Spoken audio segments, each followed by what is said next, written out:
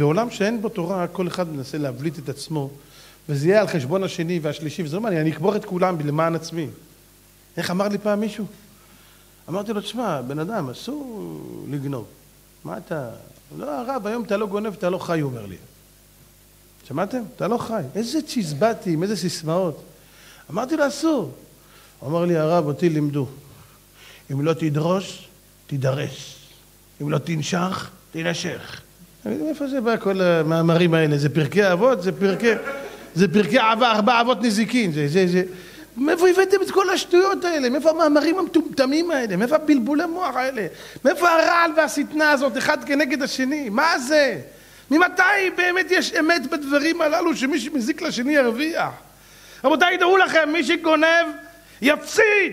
אולי עכשיו הוא מרוויח, מי שלוקח ריבית יתרסק בסוף, זה הבטחה של התורה. זה הבטחה של התורה. היום כל ילד בן 13 יש לו 14 שקל נהיה לי מלווה בריבית. מה זה? תגיד לי, אתה רציני? אתה יודע מה זה? ומטה ידו עמך, אומרים חז"ל, מה זה מטה ידו עמך? נכסיו מתמוטטין. כל מי שמלווה בריבית, נכסיו מתמוטטין. הוא יעלה ועד שתראה אותו כמו מגדל קלפים הכל קורס. הוא יפסיד את הכל. זה מאחיזת עיניים. אנשים חושבים שאפשר לעשות מה ש... נכון, אפשר לעשות מה שרוצים, אבל יש לזה מחיר. גם פרעה עשה מה שרצה, הוא שילם בסוף את הבן ואת הכינין, חילעו אותו. הוא שחרר!